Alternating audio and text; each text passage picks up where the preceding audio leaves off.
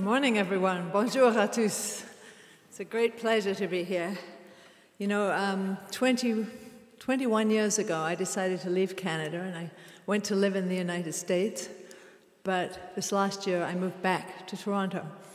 And thank you. And it, ins- it inspired a new album that's coming out in the fall called The Return to Canada with Love. And we're going to play you two pieces. Um, and it's dedicated to to my wonderful country and, uh, and fellow Canadians.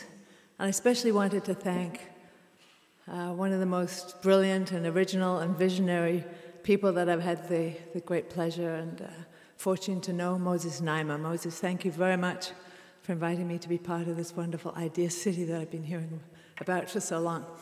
So shut your eyes and imagine you're flying over the north in Canada. Uh, it's called Spirit of the Canadian Northlands.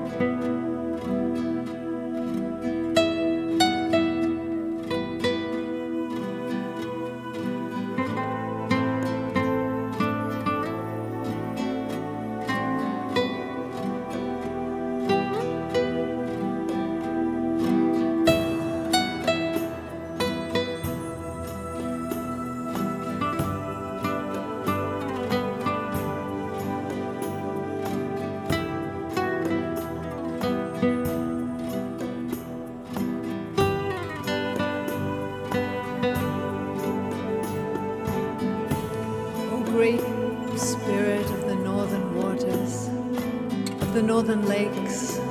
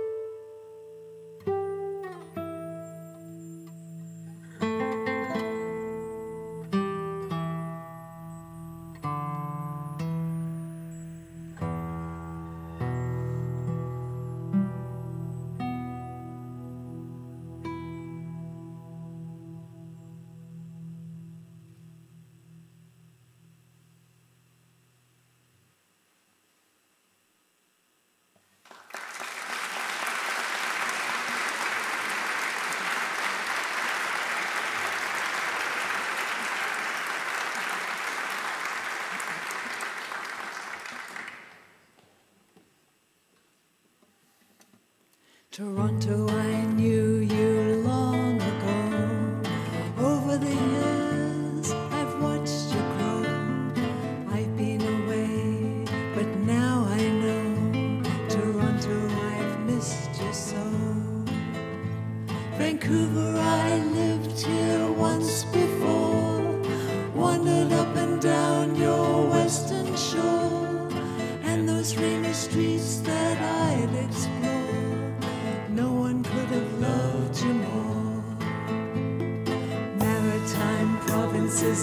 knew you well.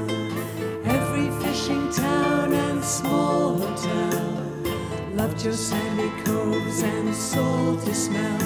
And the fog I remember well. Canada, oh Canada, oh how the years have flown. A mari usque ad mare. Thank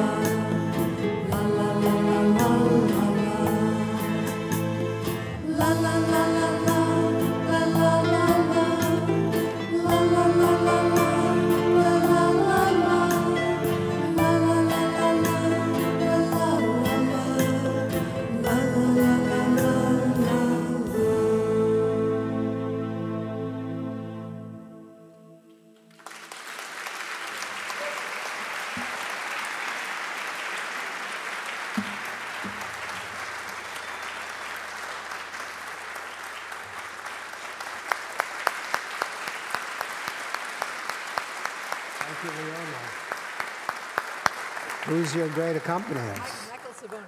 Michael? Michael Savona. Michael Savona. Thank you very much, Michael.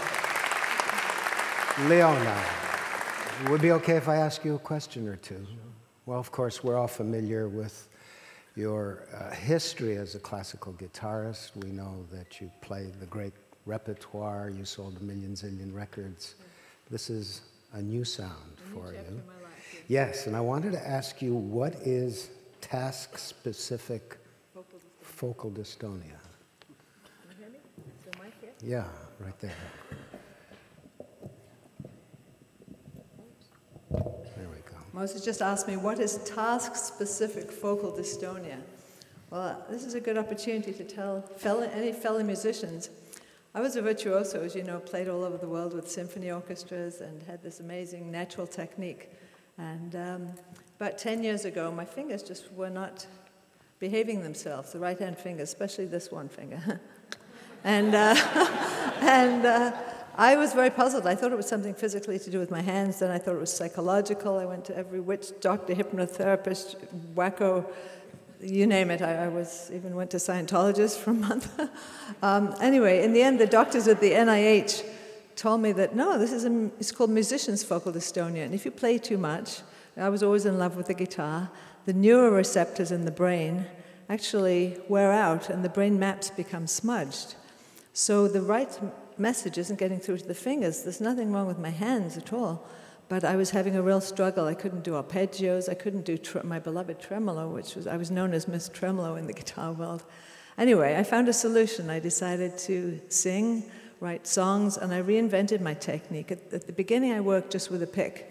But now I'm actually still playing classical concerts, and Michael and I do some classical duos. We just um, flew in from LA, we did a concert there. So it's not quite the same. I don't have the technique that I used to have. But I think life sometimes gives you these curveballs, and it's, looking back, it's the best thing ever because I'm so excited writing songs. Olivia Newton John just sang on one of my songs the other day. Last week, I was in Florida recording her. And I've done a lot of patriotic songs for Canada, which has really inspired me. So, you know, something that was my personal tragedy for a while now is the greatest blessing. So that's, that's a lesson for all of us boomers, zoomers, right? right. we have to reinvent ourselves. Thank you.